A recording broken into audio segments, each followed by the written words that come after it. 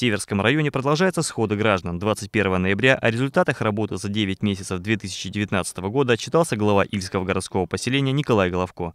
Одно из главных направлений в деятельности местной администрации – благоустройство. За отчетный период в поселении обустроено 6 тротуаров общей протяженностью свыше 2,5 километра. Отсыпаны и отгредированы улицы, нарезаны новые дороги в районе новостроек.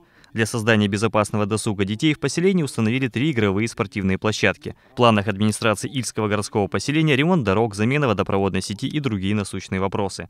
После отчета головы жители Ильского смогли задать свои вопросы представителям власти и руководителям служб и ведомств муниципалитета. В основном они касались благоустройства газа водоснабжения. Улица Партизанская. Жестяникова Надежда Ивановна. У меня вопрос к вам. Когда у нас э, сделают тротуар по нашей улице от э, улицы Мира до улицы Длинной, мы уже добиваемся, уже несколько лет, около пяти лет мы добиваемся, чтобы нам сделали тротуар. Наша улица примыкает к улице Мира, и в часы пик с 17 часов до 19 часов у нас наша улица превращается в федеральную трассу. Уже ведутся переговоры э, с нашим депутатом ЗСК Андреем Александровичем Куюмжиевым. И я надеюсь, что э, средства ЗСК, там в пределах 2-3 миллионов, для того, чтобы был хороший, качественный тротуар, будут выделены. Мы ему постоянно напоминаем, мы и будем с участниками в софинансировании. Надеюсь, этот вот вопрос мы закроем.